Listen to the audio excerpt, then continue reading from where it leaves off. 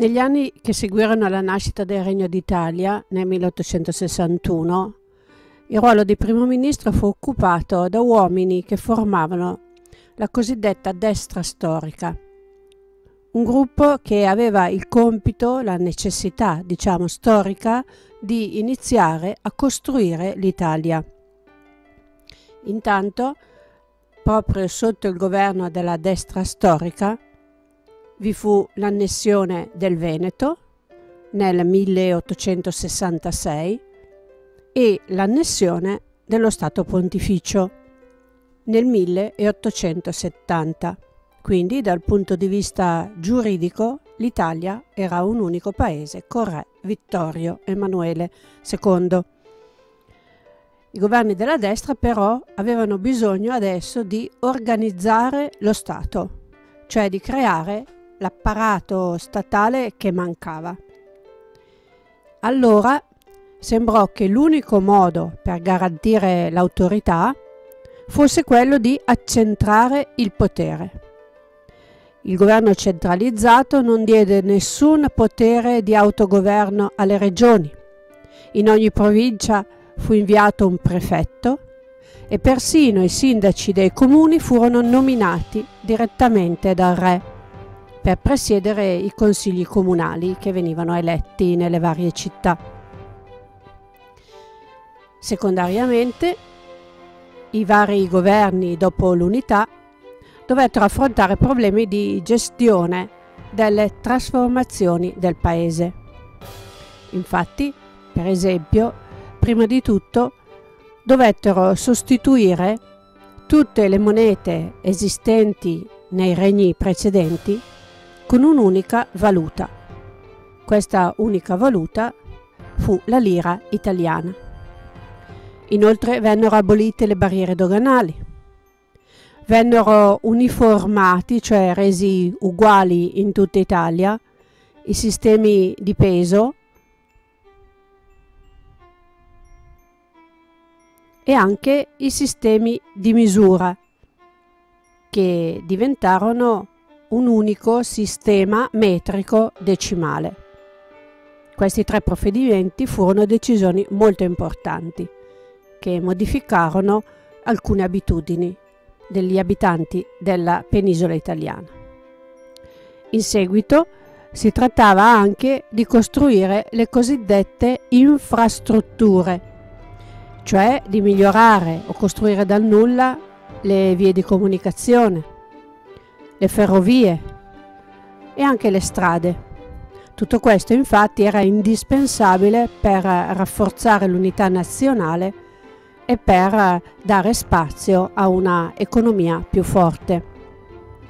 Le vie di comunicazione efficienti consentono di migliorare i commerci e anche di controllare il territorio. Per questo le strade furono migliorate e anche la rete ferroviaria fu rafforzata, fu sviluppata, in modo tale che se nel 1861 vi erano soltanto 2100 km di strade ferrate, nel 1880 ce n'erano 8000. Infatti, oltre a monete e sistemi di misurazione, anche le vie di comunicazione erano strumenti indispensabili a rafforzare l'unità nazionale. Quindi si puntò sulle ferrovie e sul miglioramento della rete stradale. Delle vie di comunicazione efficienti, infatti, consentono di migliorare i commerci e consentono anche il controllo del territorio. Non solo le strade furono migliorate, ma venne rafforzata anche la rete ferroviaria. Lo sviluppo delle ferrovie in Italia in quegli anni fu notevole. Si passa dai 2100 km del 1861 agli 8000 del 1880. Naturalmente questo tipo di trasformazione ha dei costi dei costi che sono molto elevati. Così, per incamerare denaro da usare, il Regno d'Italia, il giovane Regno d'Italia, è costretto ad aumentare le tasse. E per prima cosa, le tasse vengono aumentate sull'agricoltura, che in quel momento era la principale fonte di ricchezza in Italia. Per tassare in modo capillare la popolazione, appunto partendo dall'agricoltura, viene ideata la tassa sul macinato. Come si utilizza, come si ottiene questa tassa sul macinato? Viene applicato ai mulini italiani un contatore meccanico. Questo contatore indica quanti giri ha fatto la ruota del mulino e quindi quanta farina è stata prodotta quando il mulino ha macinato. Quindi i contadini che macinano il loro prodotto pagano al mugnaio l'uso del mulino e in più una tassa su quanto viene macinato di fatto i mugnai diventano quasi degli esattori delle tasse e solo alla fine i contadini potevano ritirare la farina che avevano ottenuta. Naturalmente questa tassa ideata dal ministro Quintino Sella è una tassa che aumenta il prezzo del pane e quindi provoca un diffuso malcontento, ma garantisce perlomeno quello che si chiama il pareggio del bilancio. Infatti la destra al governo riesce a bilanciare le entrate e le uscite che diventano diciamo pressappoco uguali e riesce quindi appunto ad ottenere il pareggio. Tutto questo accade nel 1876. Nello stesso anno, proprio nello stesso 1876 del pareggio di bilancio, però le elezioni vengono vinte dalla sinistra storica. Bisogna ricordare che la sinistra storica si rifaceva ai democratici di ascendenza di idee mazziniane oppure di idee garibaldine. Infatti, a quel tempo la destra e la sinistra non erano due partiti come li intendiamo noi oggi e non erano nemmeno due schieramenti che avessero delle idee completamente opposte, però erano comunque due gruppi che rappresentavano ceti sociali differenti, rappresentavano cioè persone che in quel periodo chiedevano una politica diversa, soprattutto economica. Ecco perché possiamo dire che la sinistra rappresenti, dia voce soprattutto agli industriali. Secondo gli industriali italiani bisognava proteggere l'industria italiana dalla concorrenza internazionale. Inoltre la maggior parte degli italiani era molto povera, troppo povera per riuscire ad acquistare le merci prodotte dalle industrie italiane che oltretutto costavano di più delle merci straniere, per esempio di quelle tedesche. Così, proprio per questo, gli industriali chiedevano anche di migliorare le condizioni economiche dei lavoratori e, per esempio, di ridurre le tasse sui consumi.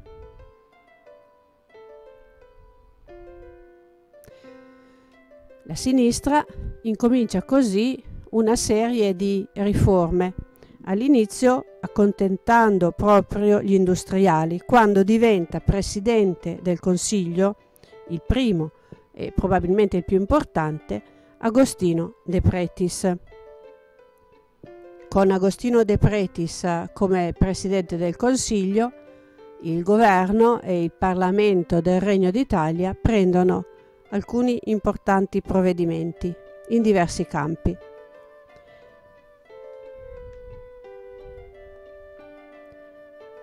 Dal punto di vista economico, il governo De Pretis vede che l'industria italiana è molto arretrata rispetto agli altri sistemi industriali europei, vede che i prodotti italiani costano molto di più per cui decide di attuare quella politica che abbiamo visto in passato, si chiama protezionismo e inoltre di dare aiuti statali.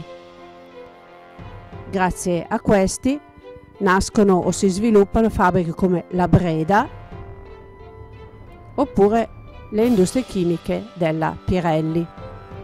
Infatti, attraverso la politica protezionistica, le merci straniere che arrivano in Italia vengono gravate, cioè aumentano i loro prezzi a causa dei dazi elevati che le rendono molto più care delle merci italiane. Tutto questo favorisce le industrie settentrionali. Ricordiamo che invece i prodotti esportati dal meridione eh, sono danneggiati perché erano soprattutto prodotti agricoli che per ripicca vengono tassati invece dai paesi stranieri. Un altro campo in cui interviene la sinistra dopo il 1876 è il campo delle riforme cosiddette sociali, quelle che riguardano la società. E il primo intervento, uno dei primi provvedimenti della sinistra, riguarda la scuola. In Italia in questo periodo è molto diffuso l'analfabetismo All'incirca il 75% degli italiani non sa né leggere né scrivere né far di conto.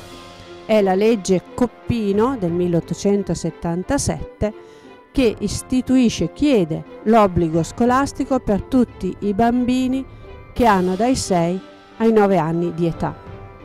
Un altro importante provvedimento fu l'abolizione della tassa sul macinato, anche se la tassazione in generale rimane alta e il terzo provvedimento è l'allargamento della base elettorale che passa dal 2 al 7% della popolazione. È ancora poco, però è meglio di prima. In pratica viene concesso il voto a tutti coloro che abitano le zone urbane.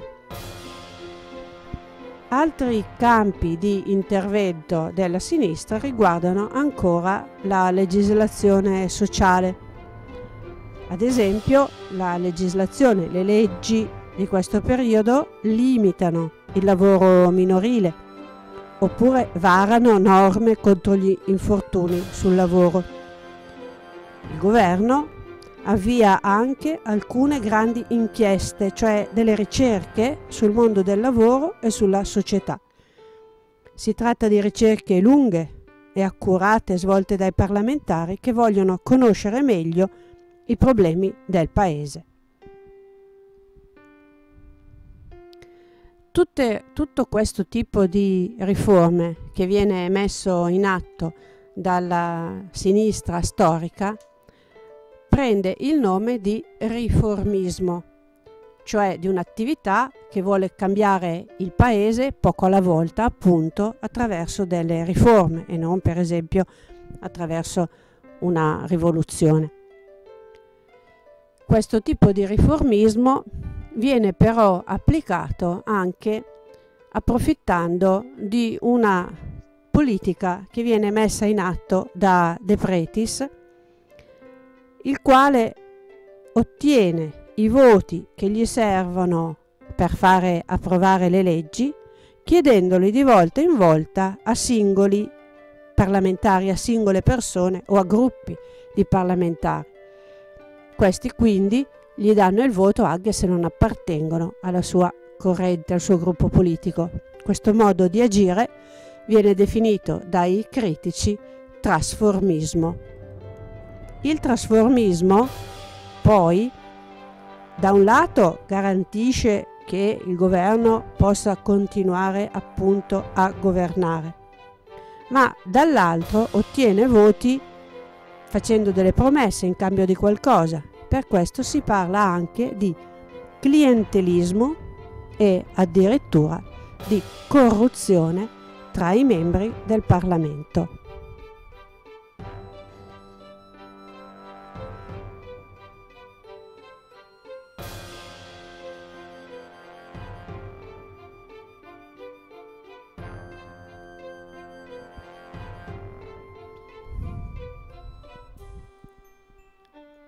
Tutte queste iniziative, tutte queste riforme, tutte queste decisioni riguardano la politica interna, ma la sinistra storica interviene anche nella politica estera e nella politica estera la sinistra rovescia completamente le scelte della destra.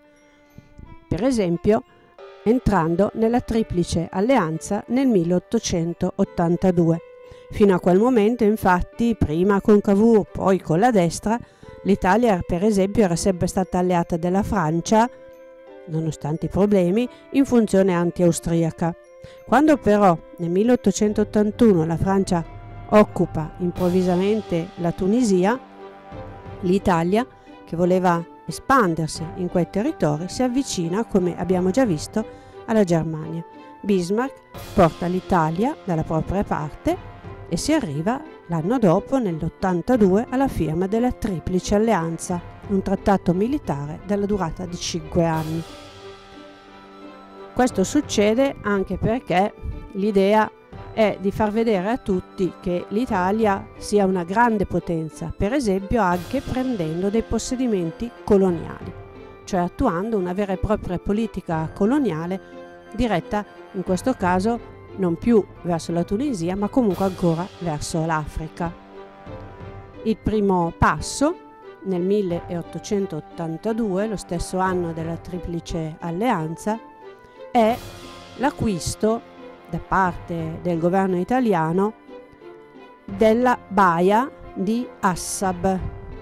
La baia apparteneva a una compagnia italiana, la compagnia Rubattino, la compagnia navale Rubattino, ed è sullo stretto che dal Mar Rosso porta al Golfo di Aden. Questa baia, Assab, diventa la base per operazioni militari che vorrebbero impadronirsi dell'Etiopia. L'Etiopia a quei tempi era un vastissimo altopiano ancora abbastanza prospero, ma era anche uno dei pochissimi paesi africani che avevano un sovrano, un negus. Era organizzato in forma feudale, ma era appunto per questo molto resistente ai tentativi della colonizzazione. Così, quando l'Italia cerca di impadronirsi dell'Etiopia o dell'Abissinia, come veniva chiamata allora, si arriva alla guerra e una colonna militare italiana viene completamente annientata a Dogali nel 1887. Il 1887 è un anno importante perché proprio in quello stesso anno muore Agostino De Pretis e viene sostituito da Francesco Crispi, che apre un altro periodo importante della storia italiana.